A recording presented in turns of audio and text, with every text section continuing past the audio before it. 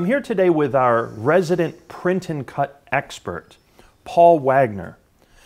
Hello, Paul. Hey, Timothy, how are you? Great, I'm great. How are you? I'm doing well, thanks.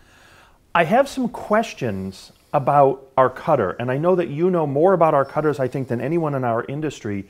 Can you help me understand why this cutter is said to be more accurate than other cutters?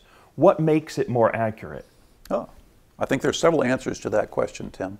First and foremost, the cutter supports directly on the machine up to a maximum of 128 registration or fiducial marks per job, and that is orders of magnitude more than other cutters are able to support. Wow. And that's down the x-axis during the media travel direction. The other thing that's very unique about the latex cutter is the fact that it also adds geometric correction on the carriage travel direction. So we're getting dynamic correction on both axes of the material movement.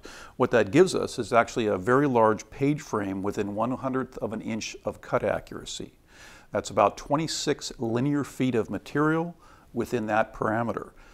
Competitive machines max out at, the, actually the next best machine I know of is less than seven feet within that same one one hundredth of an inch accuracy. So it's far more accurate over a much longer or larger distance.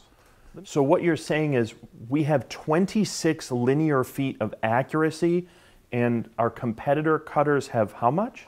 The maximum, the next best cutter I'm aware of is under seven linear feet of accuracy along that same distance. And what is the degree of accuracy over 26 linear feet? Within one one hundredth of an inch repeatability. So we're printing much longer runs with extreme accuracy on this cutter versus a competitive cutter. That's correct. Wow, I guess that does really make it much more accurate.